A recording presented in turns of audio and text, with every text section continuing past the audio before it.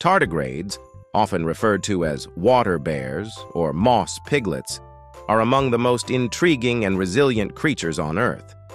These microscopic animals, typically measuring about 0.5 millimeters in length, boast a series of fascinating and almost otherworldly abilities.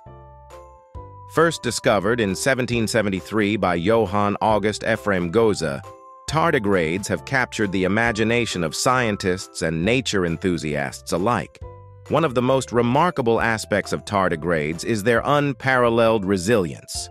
They can survive extreme conditions that would be fatal to most other forms of life. Tardigrades can endure temperatures as low as 272 dig and as high as 150 d, pressures six times greater than those found in the deepest ocean trenches.